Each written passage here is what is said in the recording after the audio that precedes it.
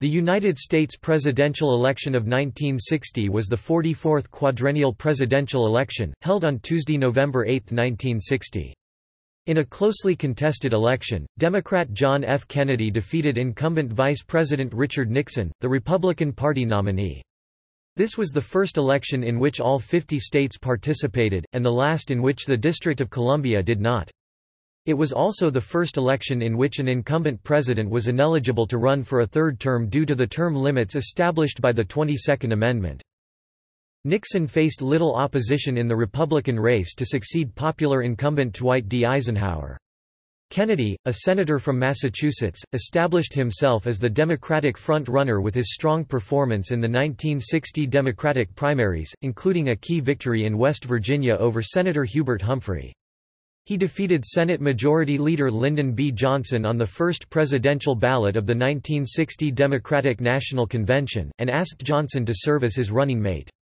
The issue of the Cold War dominated the election, as tensions were high between United States and the Soviet Union. Kennedy won a 303–219 Electoral College victory, and is generally considered to have won the national popular vote by 112,827, a margin of 0.17%. The issue of the popular vote was complicated by the presence of several unpledged electors in the Deep South. Fourteen unpledged electors from Mississippi and Alabama cast their vote for Senator Harry F. Byrd, as did a faithless elector from Oklahoma. The 1960 presidential election was the closest election since 1916, and this closeness can be explained by a number of factors. Kennedy benefited from the economic recession of 1957–58, which hurt the standing of the incumbent Republican Party, and he had the advantage of 17 million more registered Democrats than Republicans. Furthermore, the new votes that Kennedy, the first Roman Catholic president, gained among Catholics almost neutralized the new votes Nixon gained among Protestants. Kennedy's campaigning skills decisively outmatched Nixon's, and Nixon's emphasis on his experience carried little weight for most voters.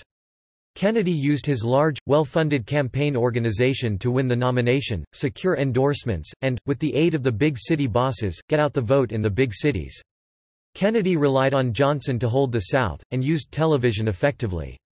In 1963, Kennedy was assassinated and was succeeded by Johnson. Nixon would later successfully seek the presidency in 1968.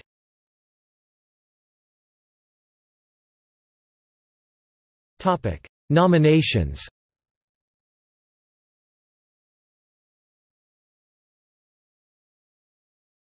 Topic: Democratic Party.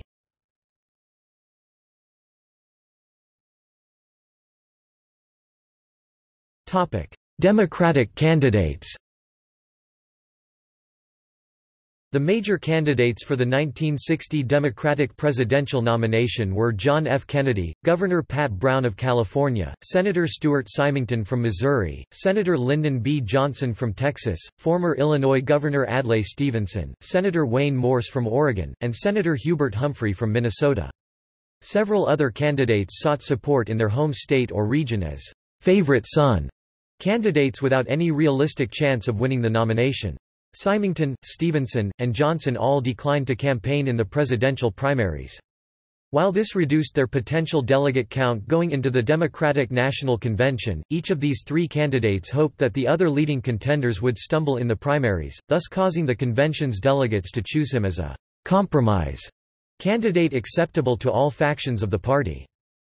Kennedy was initially dogged by suggestions from some Democratic Party elders such as former President Harry S. Truman, who was supporting Symington that he was too youthful and inexperienced to be president. These critics suggested that he should agree to be the running mate for another Democrat. Realizing that this was a strategy touted by his opponents to keep the public from taking him seriously, Kennedy stated frankly, "'I'm not running for vice president, I'm running for president." The next step was the primaries. Kennedy's Roman Catholic religion was an issue. Kennedy first challenged Minnesota Senator Hubert Humphrey in the Wisconsin primary and defeated him. Kennedy's attractive sisters, brothers, and wife Jacqueline combed the state looking for votes, leading Humphrey to complain that he felt like an independent merchant competing against a chain store. However, some political experts argued that Kennedy's margin of victory had come almost entirely from Catholic areas, and thus Humphrey decided to continue the contest in the heavily Protestant state of West Virginia. The first televised debate of 1960 was held in West Virginia, and Kennedy outperformed Humphrey. Humphrey's campaign was low on funds and could not compete for advertising and other get out the vote drives with Kennedy's well-financed and well-organized campaign. In the end, Kennedy defeated Humphrey with over 60% of the vote, and Humphrey ended his presidential campaign. West Virginia showed that Kennedy, a Catholic, could win in a heavily Protestant state. Although Kennedy had only competed in nine presidential primaries, Kennedy's rivals, Johnson and Symington, failed to campaign in any primaries. Even though Stevenson had twice been the Democratic Party's presidential candidate and retained a loyal following of liberals, his two landslide defeats to Republican Dwight Eisenhower led most party leaders and delegates to search for a «fresh face» who could win a national election. Following the primaries, Kennedy traveled around the nation speaking to state delegations and their leaders. As the Democratic convention opened, Kennedy was far in the lead, but was still seen as being just short of the delegate total he needed to win.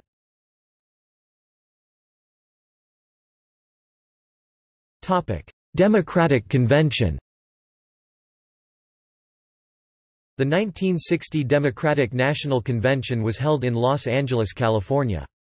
In the week before the convention opened, Kennedy received two new challengers when Lyndon B. Johnson, the powerful Senate Majority Leader from Texas, and Adlai Stevenson, the party's nominee in 1952 and 1956, officially announced their candidacies they had both privately been working for the nomination for some time. However, neither Johnson nor Stevenson was a match for the talented and highly efficient Kennedy campaign team led by Robert F. Kennedy. Johnson challenged Kennedy to a televised debate before a joint meeting of the Texas and Massachusetts delegations, to which Kennedy accepted. Most observers believed that Kennedy won the debate, and Johnson was unable to expand his delegate support beyond the South. Johnson received all 33 of Georgia's votes at the Democratic National Convention and was chosen by Georgia. Stevenson's failure to launch his candidacy publicly until the week of the convention meant that many liberal delegates who might have supported him were already pledged to Kennedy, and Stevenson—despite the energetic support of former First Lady Eleanor Roosevelt—could not break their allegiance. Kennedy won the nomination on the first ballot. Then, in a move that surprised many, Kennedy asked Johnson to be his running mate.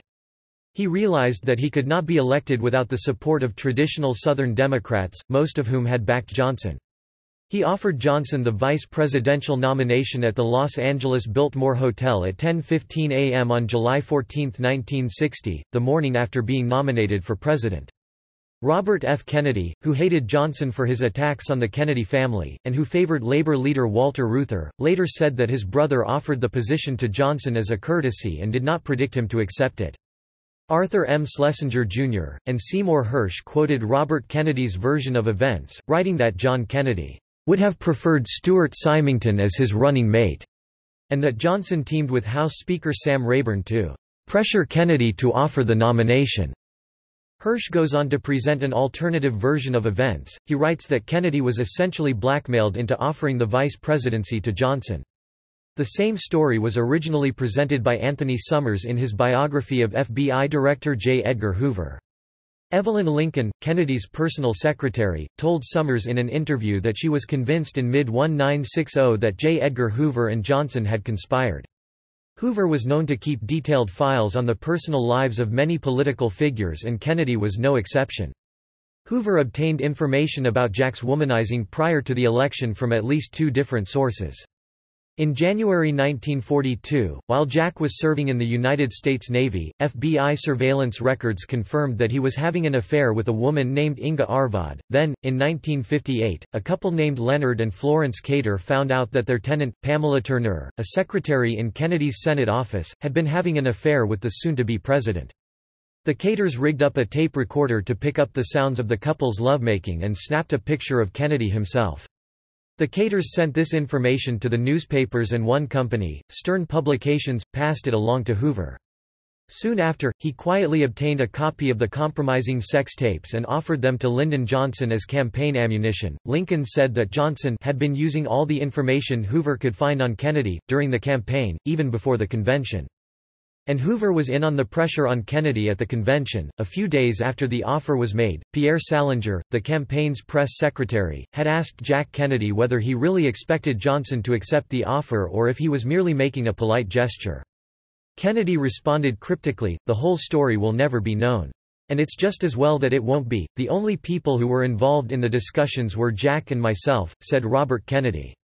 We both promised each other that we'd never tell what happened. Biographers Robert Caro and W. Marvin Watson offer a different perspective. They write that the Kennedy campaign was desperate to win what was forecast to be a very close race against Richard Nixon and Henry Cabot Lodge, Jr. Johnson was needed on the ticket to help carry votes from Texas and the southern United States.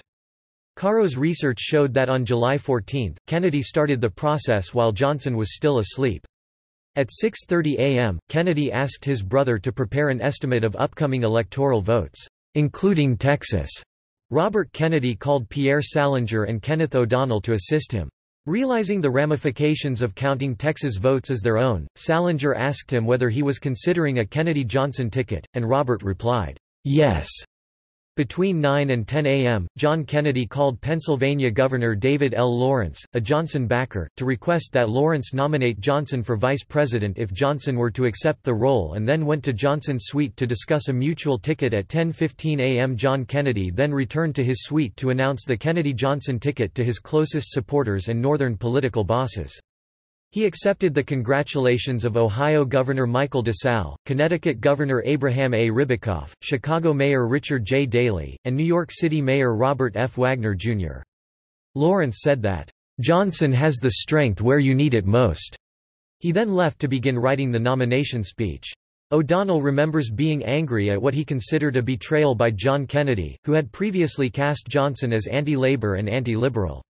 Afterward, Robert Kennedy visited with labor leaders who were extremely unhappy with the choice of Johnson and after seeing the depth of labor opposition to Johnson, he ran messages between the hotel suites of his brother and Johnson, apparently trying to undermine the proposed ticket without John Kennedy's authorization and to get Johnson to agree to be the Democratic Party chairman rather than vice president.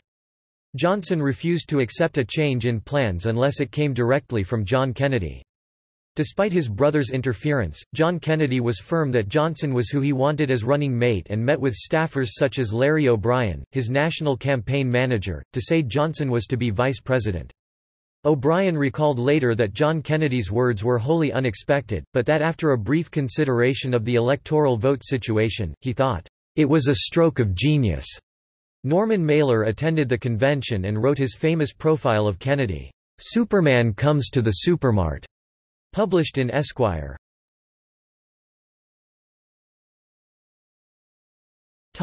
Republican Party.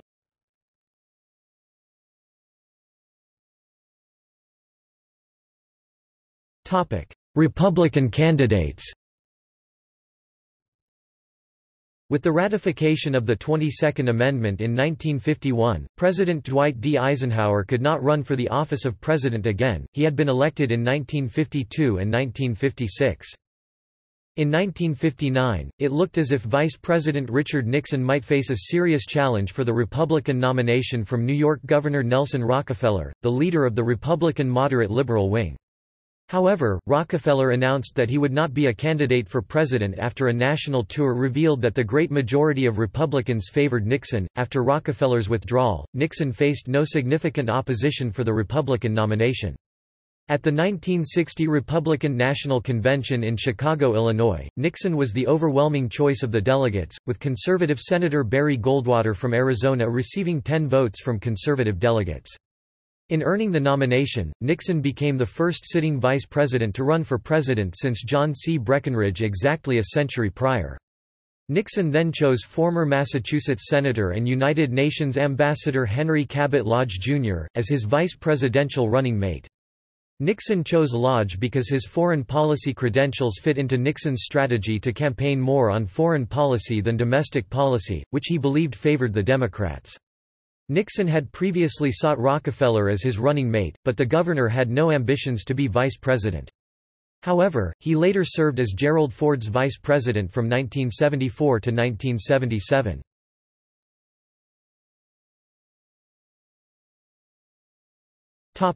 General election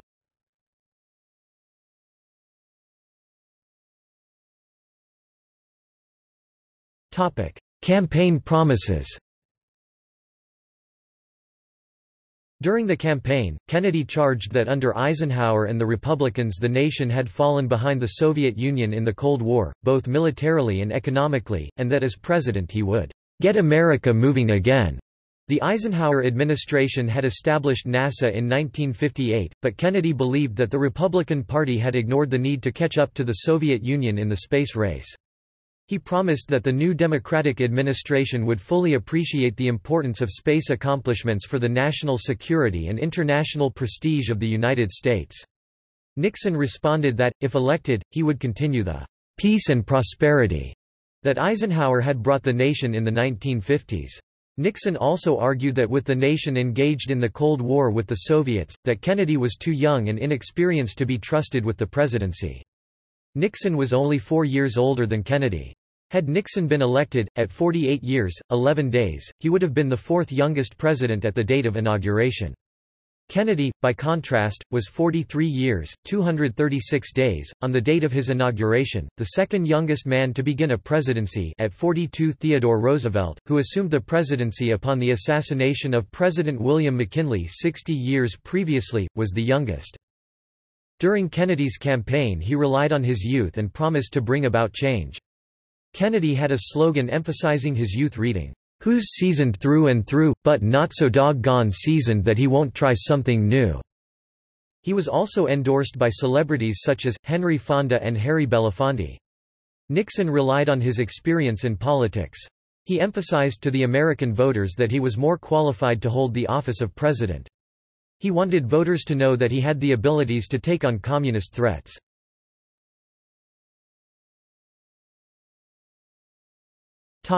Campaign events Kennedy and Nixon both drew large and enthusiastic crowds throughout the campaign.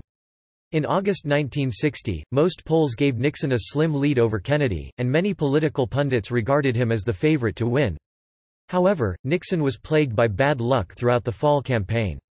In August, President Eisenhower, who had long been ambivalent about Nixon, held a televised press conference in which a reporter, Charles Moore of Time, mentioned Nixon's claims that he had been a valuable administration insider and advisor. Moore asked Eisenhower if he could give an example of a major idea of Nixon's that he had heeded. Eisenhower responded with the flip comment, "'If you give me a week, I might think of one.' Although both Eisenhower and Nixon later claimed that he was merely joking with the reporter, the remark hurt Nixon, as it undercut his claims of having greater decision-making experience than Kennedy. The remark proved so damaging to Nixon that the Democrats turned Eisenhower's statement into a television commercial. At the Republican National Convention, Nixon had pledged to campaign in all 50 states. This pledge backfired when, in August, Nixon injured his knee on a car door while campaigning in North Carolina. The knee became infected and Nixon had to cease campaigning for two weeks while the infection was treated with antibiotics. When he left Walter Reed Hospital, Nixon refused to abandon his pledge to visit every state, he thus wound up wasting valuable time visiting states that he had no chance of winning, or that had few electoral votes and would be of little help at the election, or states that he would almost certainly win regardless. For example, in his effort to visit all 50 states, Nixon spent the vital weekend before the election campaigning in Alaska, which had only three electoral votes, while Kennedy campaigned in more populous states, such as New Jersey, Ohio, Michigan, and Pennsylvania. Nixon visited Atlanta, Georgia on August 26 and acquired a very large turnout to his event. Nixon rode through a parade in Atlanta and was greeted by 150,000 people. Nixon mentioned in his speech in Atlanta, in the last quarter of a century there hasn't been a Democratic candidate for president that has bothered to campaign in the state of Georgia." However, Kennedy would not let Nixon take the Democratic states that easily. Kennedy would change that statistic and visit some surprising states, including Georgia. Senator Kennedy visited the cities of Columbus, Warm Springs, and LaGrange on his campaign trail in Georgia. In his visit to Warm Springs, state troopers tried to keep Kennedy from an immense crowd, however Kennedy reached out to shake hands of those who were sick with polio. He also visited small towns across Georgia on his trip and saw a mass of 100,000 people during the entire visit. Kennedy spoke at a rehabilitation facility in Warm Springs. Warm Springs near and dear to Kennedy's heart due to the effects the facility had on Franklin D. Roosevelt. Roosevelt spent time there at the rehabilitation facility and died there in 1945. In Warm Springs, Kennedy spoke to supporters at the facility and mentioned Franklin D. Roosevelt in his speech. He admired Roosevelt and commended him for sticking up for the farmers, workers, small towns, big cities, those in poverty, and those who were sick. He said Roosevelt had a spirit of strength and progress to get America moving. Kennedy discussed his six-point plan for healthcare. He wanted a medical program set up for retirement and federal funding for the construction of medical schools and hospitals. He also planned for the government to loan students money to attend medical school and provide grants to renovate old hospitals. He called for more money to be spent on medical research and finally, expand effort for rehabilitation and come up with new ways to assist those in need. Many Republicans disapproved Kennedy's plans and described them as an appeal to socialism. People around Warm Springs were supportive of Kennedy. Women were wearing hats reading, "'Kennedy and Johnson' Signs around the town read, "'Douglas County for Kennedy except 17 Republicans 6 old grouches'." Joe O. Butts, the mayor of Warm Springs during Kennedy's visit, said, "'He must have shaken hands with everybody within two miles of him, and he was smiling all the time.' Despite the reservations Robert Kennedy had about Johnson's nomination, choosing Johnson as Kennedy's running mate proved to be a masterstroke. Johnson vigorously campaigned for Kennedy and was instrumental in helping the Democrats to carry several Southern states skeptical of him, especially Johnson's home state of Texas. Johnson made a last-minute change of plans and scheduled two 12-minute whistle-stop speeches in Georgia. One of these visits included stopping in Atlanta to speak from the rear of a train at Terminal Station. On the other hand, Ambassador Lodge, Nixon's running mate, ran a lethargic campaign and made several mistakes that hurt Nixon. Among them was a pledge—not approved by Nixon—that as president, Nixon would name a black person to his cabinet. The remark offended many blacks who saw it as a clumsy attempt to win their votes. Topic debates The key turning point of the campaign came with the four Kennedy-Nixon debates, they were the first presidential debates ever the Lincoln-Douglas debates of 1858 had been the first for senators from Illinois, also the first held on television, and thus attracted enormous publicity. Nixon insisted on campaigning until just a few hours before the first debate started. He had not completely recovered from his stay in hospital and thus looked pale, sickly, underweight, and tired. His eyes moved across the room during the debate, and at various moments sweat was visible on his face. He also refused makeup for the first debate, and as a result his facial stubble showed prominently on the black and white TV screens at the time. Furthermore, the debate set appeared darker once the paint dried up, causing Nixon's suit color to blend in with the background which reduced his stature. Nixon's poor appearance on television in the first debate is reflected by the fact that his mother called him immediately following the debate to ask if he was sick. Kennedy, by contrast, rested and prepared extensively beforehand, appearing tanned, confident, and relaxed during the debate. An estimated 70 million viewers watched the first debate. It is often claimed that people who watched the debate on television overwhelmingly believed Kennedy had won, while radio listeners, a smaller audience, thought Nixon had ended up defeating him. However, that has been disputed. Indeed, one study has speculated that the viewer-listener disagreement could be due to sample bias in that those without TV could be a skewed subset of the population. Evidence in support of this belief i.e., that Kennedy's physical appearance overshadowed his performance during the first debate is mainly limited to sketchy reports about a market survey conducted by Sindlinger and Company in which 49% of those who listened to the debates on radio said Nixon had won compared to 21% naming Kennedy, while 30% of those who watched the debates on television said Kennedy had won compared to 29% naming Nixon.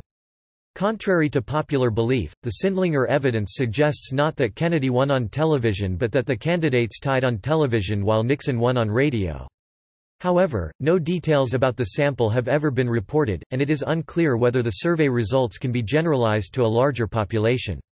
Moreover, since 87% of American households had a television in 1960 and that the fraction of Americans lacking access to television in 1960 was concentrated in rural areas and particularly in southern and western states, places that were unlikely to hold significant proportions of Catholic voters. After the first debate, polls showed Kennedy moving from a slight deficit into a slight lead over Nixon. For the remaining three debates, Nixon regained his lost weight, wore television makeup, and appeared more forceful than in his initial appearance. However, up to 20 million fewer viewers watched the three remaining debates than the first. Political observers at the time felt that Kennedy won the first debate, Nixon won the second and third debates, while the fourth debate, which was seen as the strongest performance by both men, was a draw.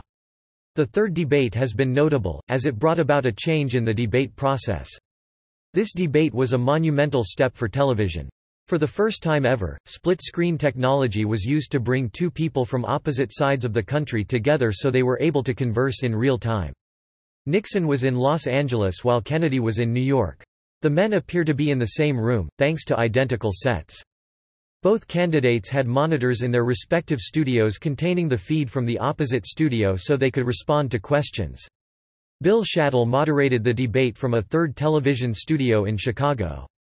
The main topic of this debate was whether military force should be used to prevent Quemoy and Matsu, two island archipelagos off the Chinese coast, from falling under communist control.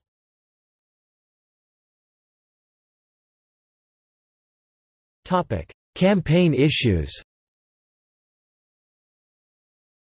A key concern in Kennedy's campaign was the widespread skepticism among Protestants about his Roman Catholic religion.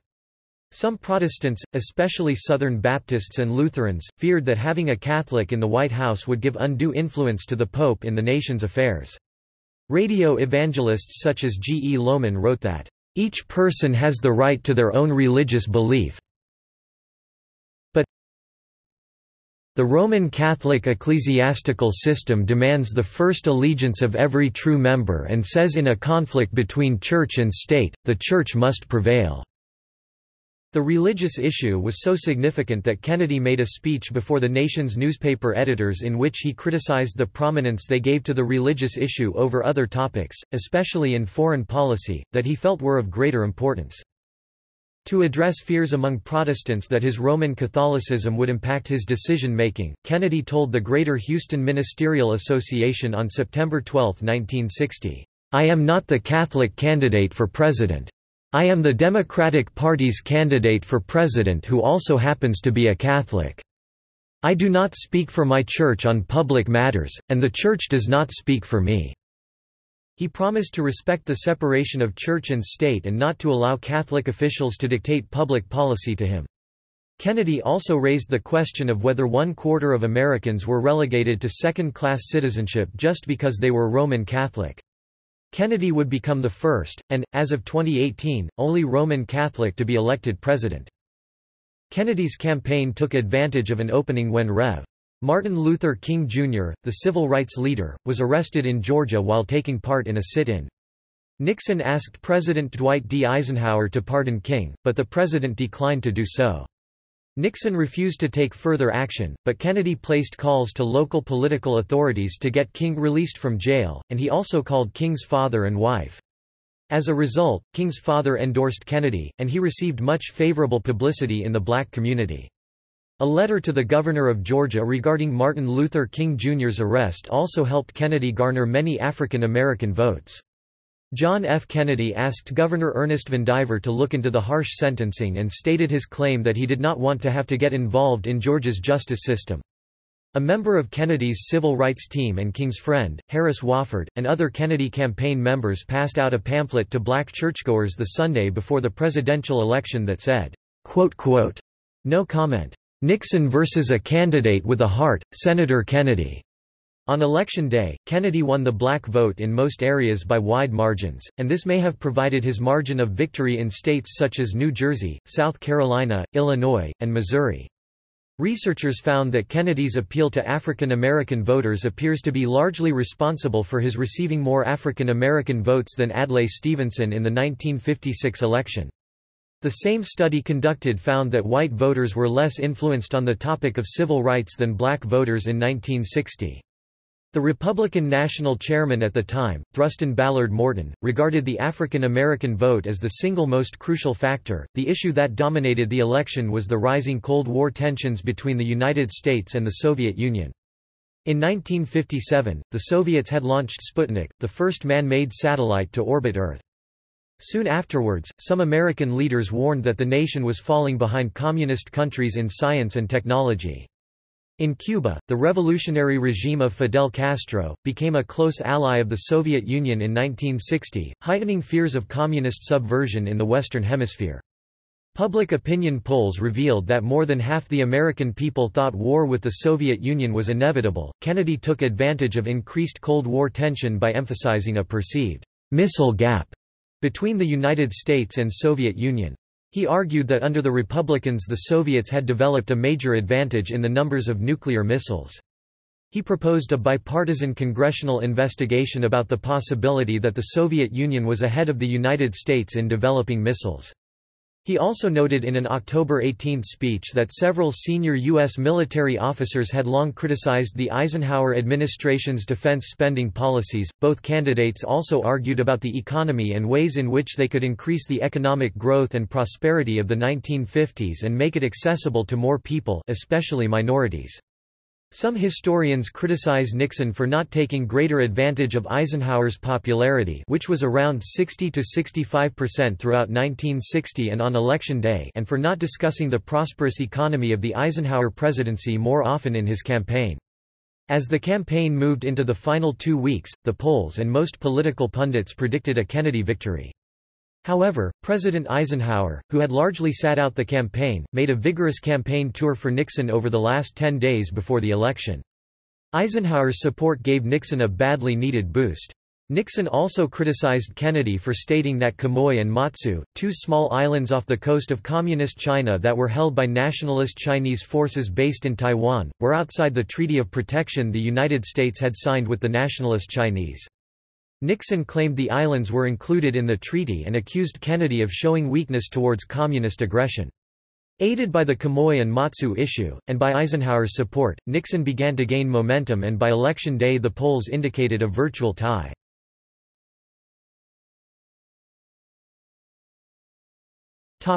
Results The election was held on November 8, 1960. Nixon watched the election returns from his suite at the Ambassador Hotel in Los Angeles, while Kennedy watched them at the Kennedy compound in Hyannisport, Massachusetts. As the early returns poured in from large northeastern and midwestern cities, such as Boston, New York City, Philadelphia, Pittsburgh, Cleveland, Detroit, and Chicago, Kennedy opened a large lead in the popular and electoral votes, and appeared headed for victory. However, as later returns came in from rural and suburban areas in the Midwest, the Rocky Mountain states and the Pacific Coast states, Nixon began to steadily close the gap on Kennedy. Before midnight, the New York Times had gone to press with the headline, Kennedy elected president. As the election again became too close to call, Times managing editor Turner Catledge hoped that, as he recalled in his memoirs, a certain Midwestern mayor would steal enough votes to pull Kennedy through thus allowing the Times to avoid the embarrassment of announcing the wrong winner, as the Chicago Tribune had memorably done 12 years earlier in announcing that Thomas E. Dewey had defeated President Truman. Nixon made a speech at about 3 a.m., and hinted that Kennedy might have won the election. News reporters were puzzled, as it was not a formal concession speech. It was not until the afternoon of the next day that Nixon finally conceded the election, and Kennedy claimed his victory. Of the 3,129 counties and independent cities making returns, Nixon won in 1,857 while Kennedy carried 1,200 Unpledged electors came first in 71 counties throughout Louisiana and Mississippi and one county in Alaska split evenly between Kennedy and Nixon. A sample of how close the election was can be seen in California, Nixon's home state. Kennedy seemed to have carried the state by 37,000 votes when all of the voting precincts reported, but when the absentee ballots were counted a week later, Nixon came from behind to win the state by 36,000 votes. Similarly, in Hawaii, it appeared as though Nixon had won there it was actually called for him early Wednesday morning, but in a recount, Kennedy was able to come from behind and win the state by an extremely narrow margin of 115 votes. In the national popular vote, Kennedy beat Nixon by less than two-tenths of one percentage point 0.17%, the closest popular vote margin of the 20th century. In the Electoral College, Kennedy's victory was larger, as he took 303 electoral votes to Nixon's 219, 269 were needed to win. A total of 15 electors—eight from Mississippi, six from Alabama, and one from Oklahoma—refused to vote for either Kennedy or Nixon. Instead, they cast their votes for Senator Harry F. Byrd of Virginia, a conservative Democrat, even though he had not been a candidate for president. Kennedy carried 12 states by 3 percentage points or less, while Nixon won six by similarly narrow margins. Kennedy carried all but three states in the populous Northeast, and he also carried the large states of Michigan, Illinois, and Missouri in the Midwest. With Lyndon Johnson's help, he also carried most of the South, including the large states of North Carolina, Georgia, and Texas. Nixon carried all but three of the western states including California, and he ran strong in the Farm Belt states, where his biggest victory was in Ohio. The New York Times, summarizing the discussion in late November, spoke of a «narrow consensus» among the experts that Kennedy had won more than he lost, «as a result of his Catholicism» as Northern Catholics flocked to Kennedy because of attacks on his religion. Interviewing people who voted in both 1956 and 1960, a University of Michigan team analyzing the election returns discovered that people who voted Democratic in 1956 split 33 to 6 for Kennedy, while the Republican voters of 1956 split 44 to 17 for Nixon. That is, Nixon lost 28% of the Eisenhower voters, while Kennedy lost only 15% of the Stevenson voters. The Democrats, in other words, did a better job of holding their 1956 supporters. Kennedy said that he saw the challenges ahead and needed the country's support to get through them. In his victory speech, he declared, To all Americans, I say that the next four years are going to be difficult and challenging years for us all, that a supreme national effort will be needed to move this country safely through the 1960s.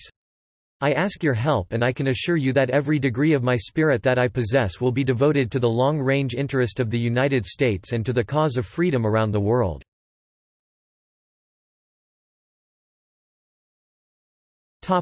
Controversies Some, including Republican legislators and journalists, believed that Kennedy benefited from vote fraud, especially in Texas, where his running mate Lyndon B. Johnson was senator, and Illinois, home of Mayor Richard Daley's powerful Chicago political machine.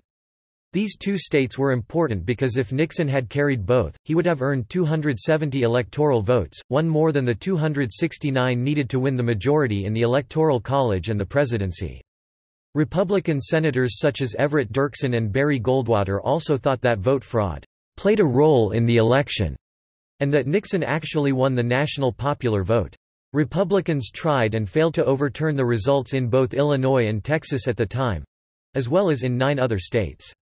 Some journalists also later claimed that mobster Sam Giancana and his Chicago crime syndicate played a role in Kennedy's victory in Illinois, Nixon's campaign staff urged him to pursue recounts and challenge the validity of Kennedy's victory in several states, especially in Illinois, Missouri, and New Jersey, where large majorities in Catholic precincts handed Kennedy the election.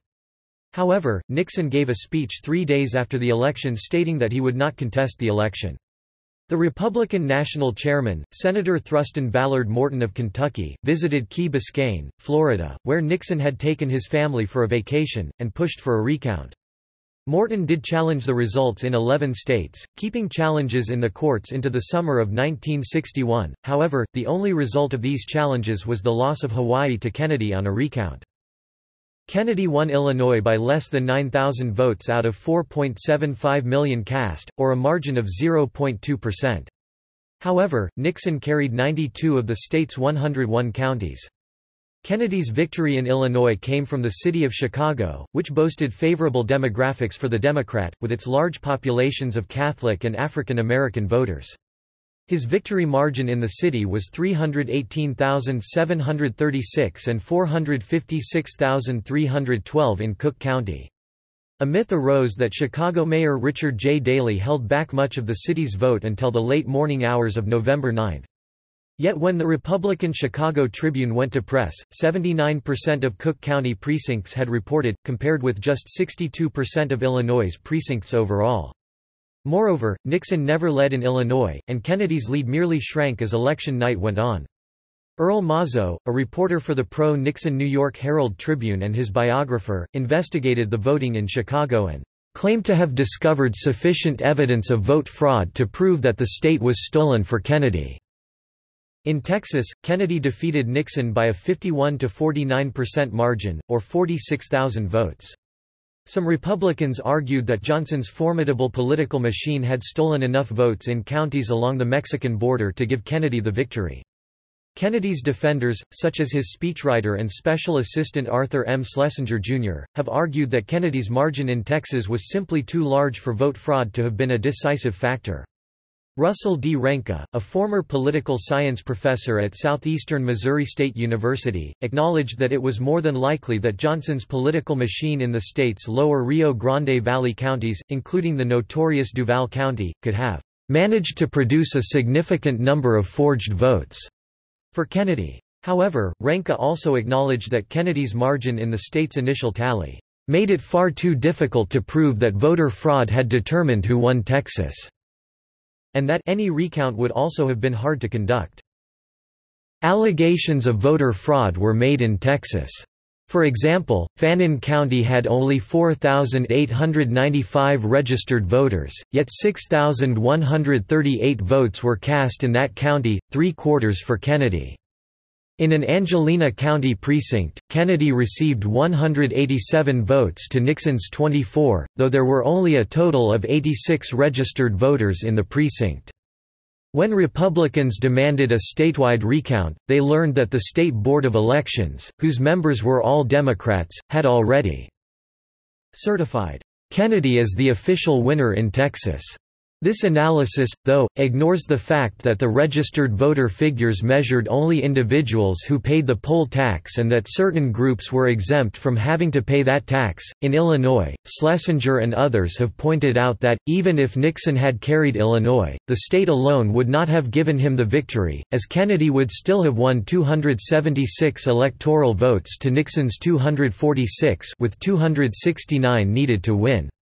More to the point, Illinois was the site of the most extensive challenge process, which fell short despite repeated efforts spearheaded by Cook County State's Attorney, Benjamin Adamowski, a Republican, who also lost his re-election bid. Despite demonstrating net errors favoring both Nixon and Adamowski some precincts—40% in Nixon's case, showed errors favoring them, a factor suggesting error, rather than fraud. The totals found fell short of reversing the results for either candidate. While a Daley connected circuit judge, Thomas Kluczynski who would later be appointed a federal judge by Kennedy, at Daley's recommendation, threw out a federal lawsuit.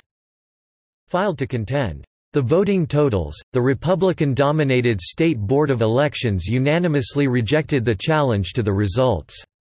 Furthermore, there were signs of possible irregularities in downstate areas controlled by Republicans, which Democrats never seriously pressed, since the Republican challenges went nowhere. More than a month after the election, the Republican National Committee abandoned its Illinois voter fraud claims, however, a special prosecutor assigned to the case brought charges against 650 people, which did not result in convictions. Three Chicago election workers were convicted of voter fraud in 1962 and served short terms in jail. Mazo, the Herald Tribune reporter, later said that he found names of the dead who had voted in Chicago, along with 56 people from one house. Quote, he found cases of Republican voter fraud in southern Illinois, but said that the totals did not match the Chicago fraud he found. Quote, after Mazo had published four parts of an intended 12-part voter fraud series documenting his findings, which was republished nationally, he said, Nixon requested his publisher stop the rest of the series so as to prevent a constitutional crisis. Nevertheless, the Chicago Tribune which routinely endorsed GOP presidential candidates, including Nixon in 1960, 1968 and 1972 wrote that the election of November 8 was characterized by such gross and palpable fraud as to justify the conclusion that Nixon was deprived of victory. Had Nixon won both Illinois and Texas, he would have ended up with exactly 270 electoral votes and the presidency, with or without a victory in the popular vote.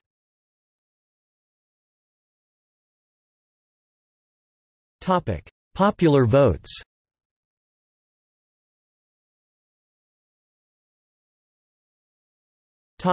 Alabama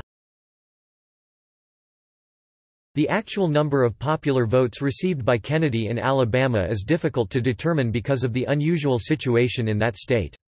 The first minor issue is that, instead of having the voters choose from slates of electors, the Alabama ballot had voters choose the electors individually. Traditionally, in such a situation, a given candidate is assigned the popular vote of the elector who received the most votes. For instance, candidates pledged to Nixon received anywhere from 230,951 votes for George Whicher to 237,981 votes for Cecil Durham. Nixon is therefore assigned 237,981 popular votes from Alabama. The more important issue is that the statewide Democratic primary had chosen 11 candidates for the Electoral College, five of whom were pledged to vote for Kennedy, and six of whom were free to vote for anyone they chose. All of these candidates won in the general election, and all six unpledged electors voted against Kennedy. The actual number of popular votes received by Kennedy is therefore difficult to allocate. Traditionally, Kennedy is assigned either 318,303 votes the votes won by the most popular Kennedy elector or 324,050 votes the votes won by the most popular Democratic elector. The results table below is based on Kennedy winning 318,303 votes in Alabama.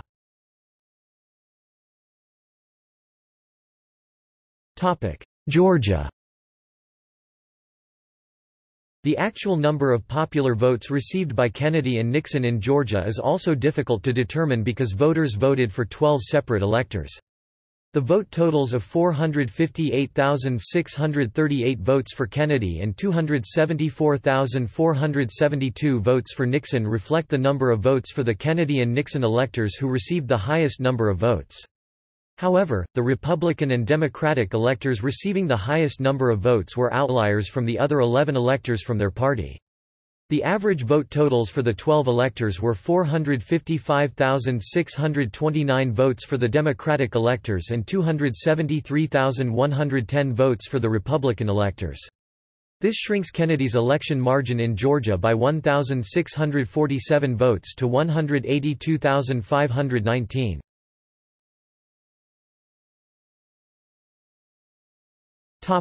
Unpledged Democratic electors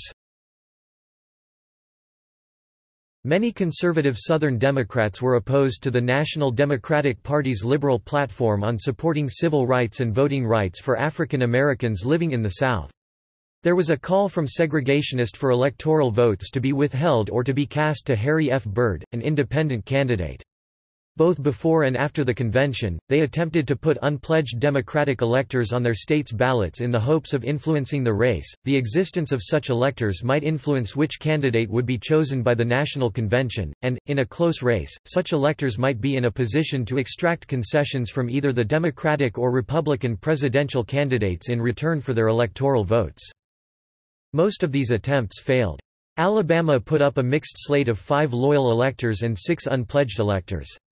Mississippi put up two distinct slates, one of Loyalists and one of unpledged electors.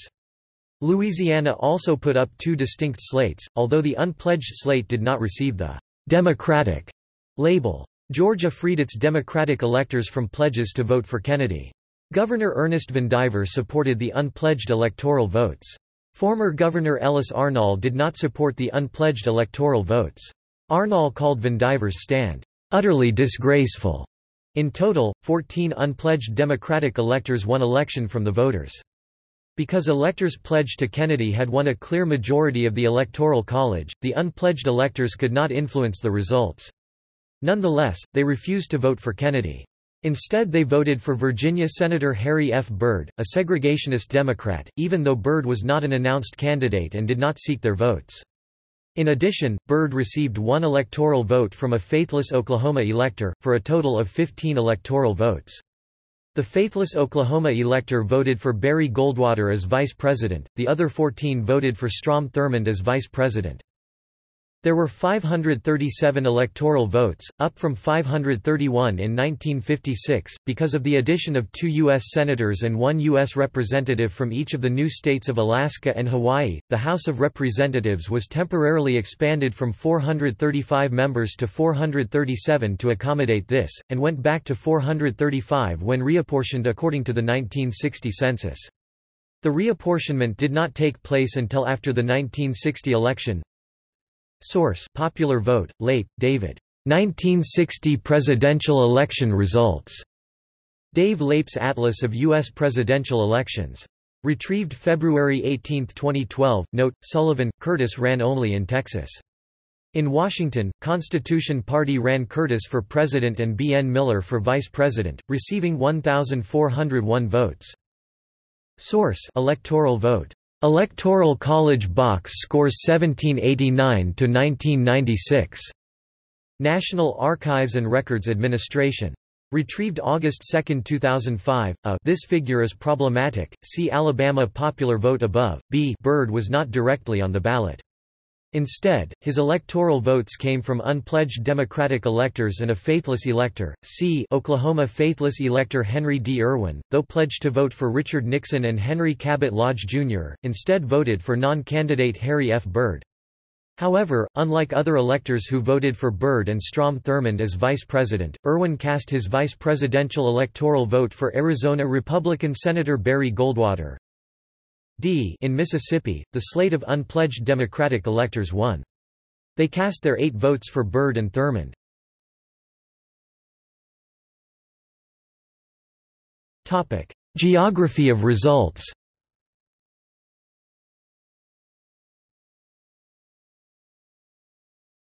Topic: Cartographic gallery.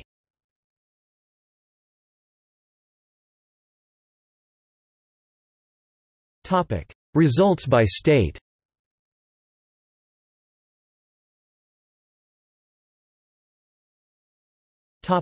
Close states.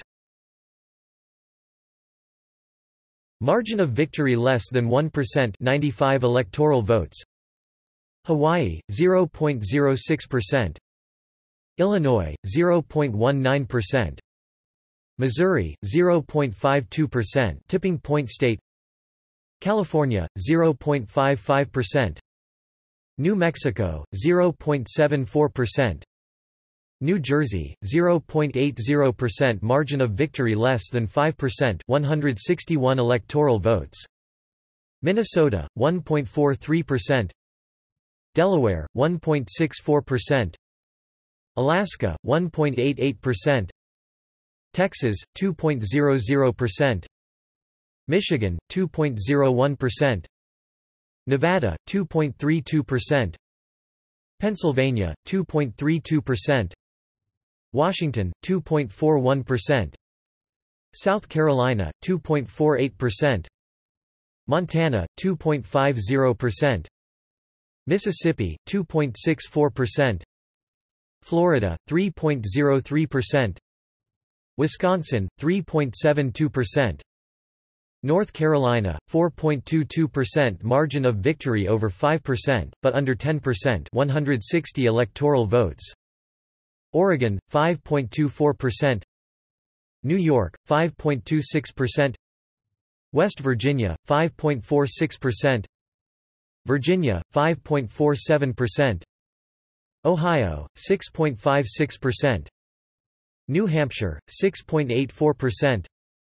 Arkansas 7.13%, Tennessee 7.15%, Kentucky 7.18%, Maryland 7.22%, Connecticut 7.46%, Idaho 7.56%, Utah 9.64%, Colorado 9.73%.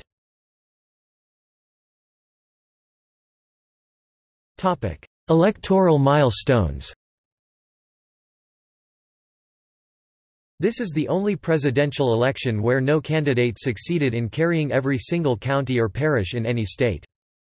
This was the first election where the winning candidate received a majority of the electoral votes although the second-place candidate carried a majority of the states. As of 2016, it has happened once more, in 1976.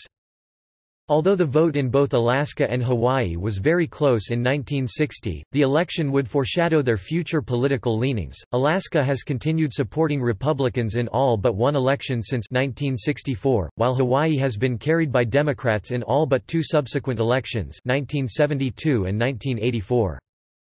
This election was the last time that Georgia, Louisiana, and South Carolina voted Democratic until 1976 and the last time Maine and Washington voted Republican until 1972. This is the last election when Multnomah County, Oregon and Johnson County, Iowa have supported the Republican candidate, but also the last when the North Florida counties of Escambia, Santa Rosa and Okaloosa, along with nearby Harrison County, Mississippi, have supported a Democrat.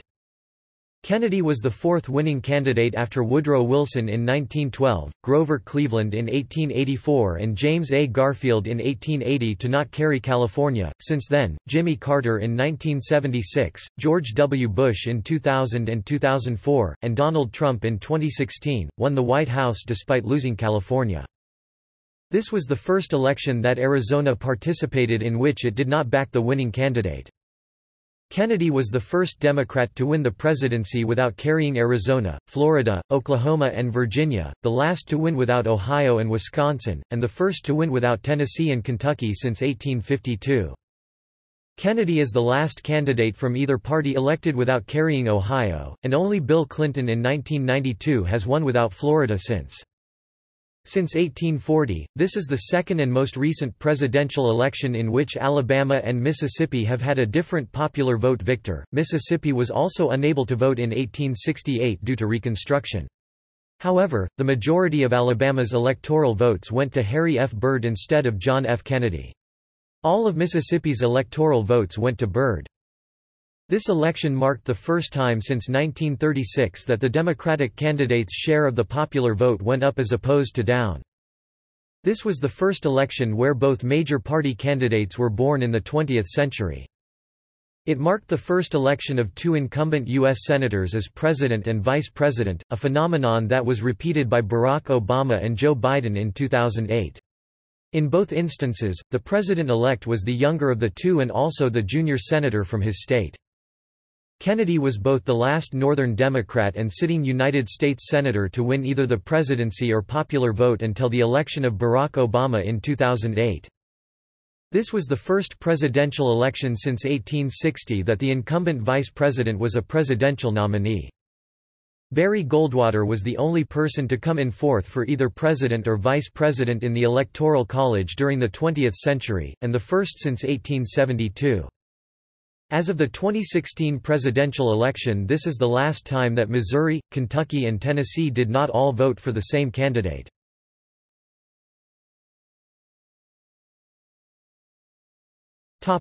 See also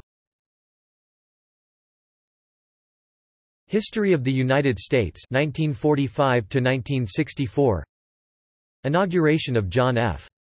Kennedy Primary film United States House of Representatives elections, 1960 United States Senate election, 1960 Topic. Notes.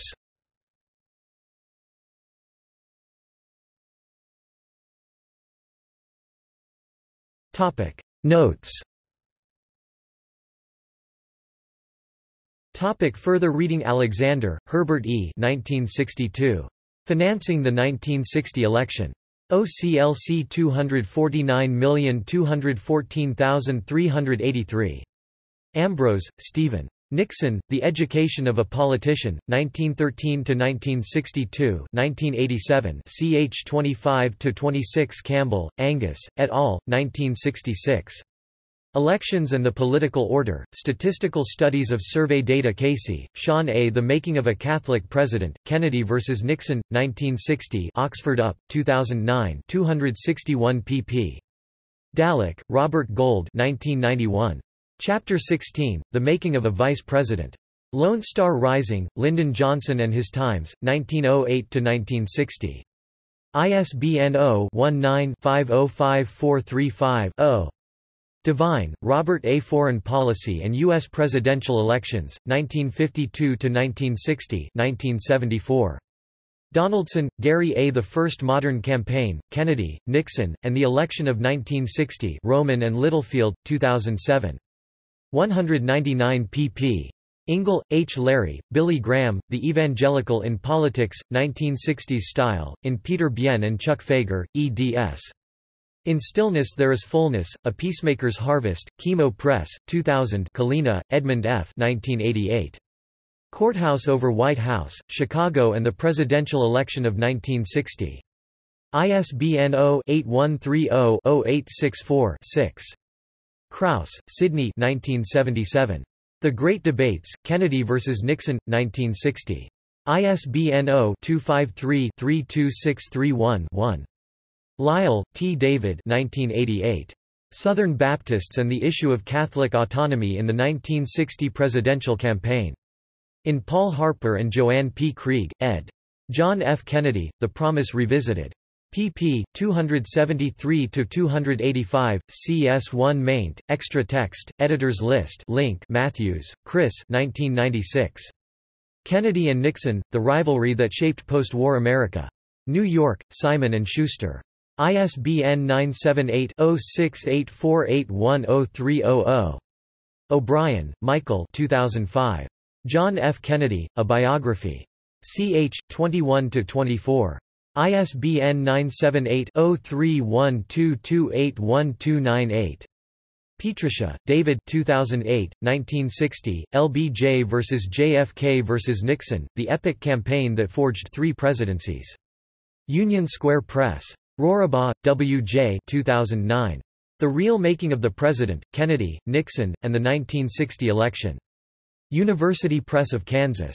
ISBN 978-0-7006-1887-3. White, Theodore H. 1980-1961. The Making of the President, 1960.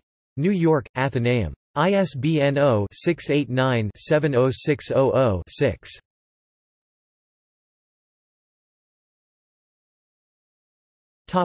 Primary sources Gallup, George H., ed. The Gallup Poll, Public Opinion, 1935–1971, 3 vols. Random House, 1972. Poll results Nixon, Richard M. 1978. R.N., The Memoirs of Richard Nixon. ISBN 0-671-70741-8.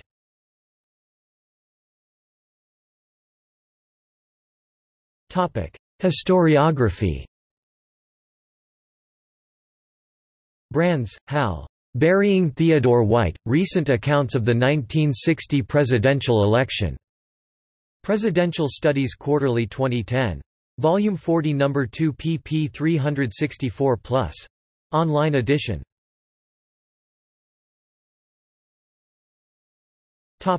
External links United States presidential election of 1960 at Encyclopaedia Britannica. The Election Walls 1960 election video page. 1960 popular vote by counties. 1960 popular vote by states. 1960 popular vote by states with bar graphs. Gallery of 1960 election posters, buttons at the Wayback Machine archived November 7, 2007 Campaign commercials from the 1960 election. How close was the 1960 election? Michael Shepard, Massachusetts Institute of Technology at the Wayback Machine archived August 25, 2012 Battleground West Virginia, electing the president in 1960 West Virginia Archives and History Online exhibit. Andrew Marr, JFK, The Making of Modern Politics, BBC 2. Retrieved November 23, 2010. Election of 1960 and counting the votes